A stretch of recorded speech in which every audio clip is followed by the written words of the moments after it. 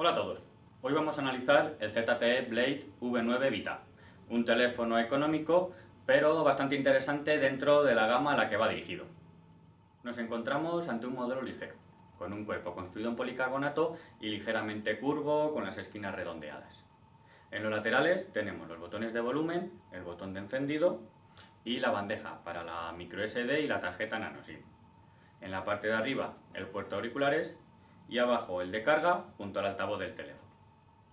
En la parte delantera, obviamente la pantalla, el auricular, la cámara selfie, los botones incluidos en la pantalla y atrás tendríamos el sensor de huellas y un juego de doble lente junto al flash. Para la pantalla, ZTE ha optado por un panel IPS de 5,45 pulgadas con resolución Full HD+, en este caso 1080 x 2160 píxeles.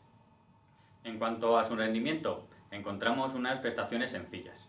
Tenemos un procesador Snapdragon 435 con 8 núcleos corriendo a 1,4 GHz, 2 GB de memoria RAM, 16 GB de memoria interna y una GPU Adreno 505. Todo ello corriendo bajo Android Oreo. La autonomía de este teléfono es uno de sus puntos fuertes, ya que tenemos una batería de 3200 mAh con lo que vamos a poder pasar el día de uso sin ningún problema.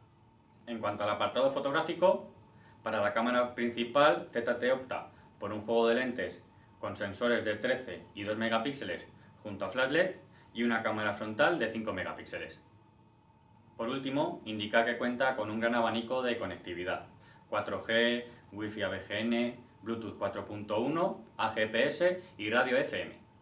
Hasta aquí la review del Blade V9 Vita un teléfono que cuenta con unas prestaciones sencillas, pero que es bastante económico, por lo que es una opción interesante a tener en cuenta.